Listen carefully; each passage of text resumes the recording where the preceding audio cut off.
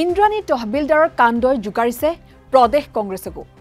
নাৰী সুৰক্ষাৰ বাবে এতিয়া বিশেষ কাৰ্যসূচী গ্ৰহণ কৰিব প্ৰদেশ কংগ্ৰেছে। বিজেপিৰ ধুনীয়া কাৰ্যালয়ৰ ভিতৰত ঘূণীয়া হৈছে মানুহ। এই মন্তব্য কৰিছে অসম প্ৰদেশ কংগ্ৰেছ কমিটিৰ সভাপতি ভূপেন বৰাই। শেহতীয়াকৈ ইন্দ্ৰাণী তহবিলদাৰৰ ঘটনাই যি ধৰণে সমগ্ৰ ৰাজ্য জোকাৰি গৈছে এই ঘটনাই নতুন নতুন ক্লু নতুন নতুন তথ্য নিত্য নতুন তথ্য পোহৰলৈ আনিছে।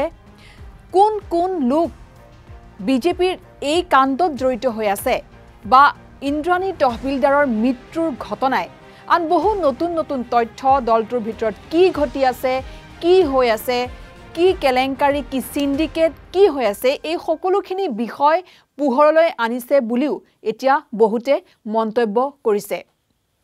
এই ঘটনাৰ পিছতে বিশেষকৈ মহিলা কংগ্ৰেছৰ মাজত যথেষ্ট হৈচৈ লাগিছে। মহিলা কংগ্ৰেছৰ এতিয়া চাৰিগৰাকী নেত্ৰীয়ে এই কাণ্ডক লৈ তেওঁলোকে বিশেষ কিছু ব্যৱস্থা বিশেষ কিছু কাৰ্যসূচী হাতত ল'ব বিচাৰিছে।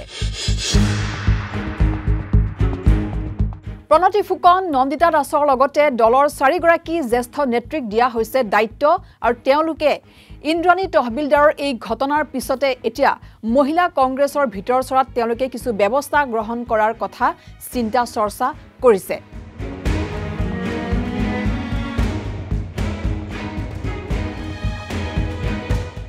বিশেষকৈ দলৰ ভিতৰত মহিলা নেত্ৰীৰ সুৰক্ষা মহিলা নেত্ৰীৰ নিৰাপত্তা ব্যক্তিগত এই ধৰণৰ কথা বাৰ্তা যিসমূহ পোহৰলৈ আহিছে একান্ত ব্যক্তিগত কথা এইসমূহ আচলতে কোনো কাৰণতে কোনেও গ্ৰহণ কৰিব পৰা নাই।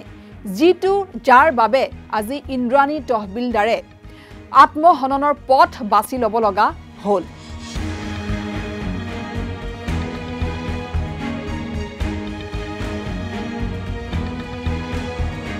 আনকি এই ঘটনাই এতিয়া বিজেপিৰ ভিতৰ চৰাটো যথেষ্ট খেলি মেলিৰ সৃষ্টি কৰিছে যথেষ্ট হৈচৈৰ সৃষ্টি কৰিছে।